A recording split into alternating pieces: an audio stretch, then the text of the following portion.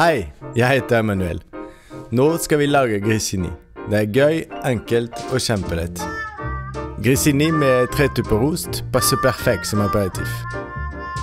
Vi blander sammen hvetemel, salt, honning, olivenolje, gjær og vann.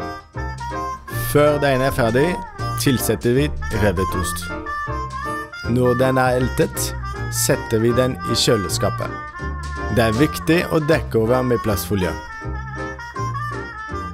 Del oppi porsjoner og rull ut lange pølser. La de heve i 20 minutter og steike i ovnen. Et voilà. Bon appétit!